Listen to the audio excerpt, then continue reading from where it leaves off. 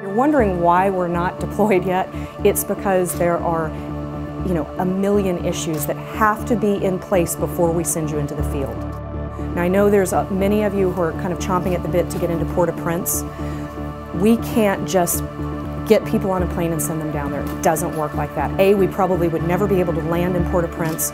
B, when you get there and get off the airplane and say, we're here, we're here to help, you are another mouth to feed, another head to shelter, um, and you won't have your own supplies and equipment with you. And that is not what that region needs right now.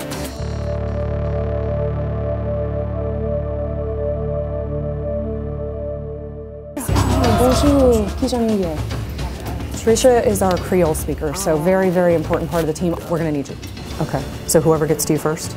Yes. So the Go team was founded in 2008 through a federal grant, and the idea was to put together a multidisciplinary, deployable medical team that could go into the field and help during times of crisis.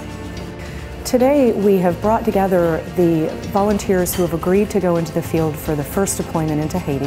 I'm currently an anesthesiologist finishing up my training at Hopkins and um, I really feel not only compelled to help my people but to use specifically the acute care critical care and surgical skills that I've acquired here to help over there because I know that they're needed the most at this time, especially where all the trauma is going on.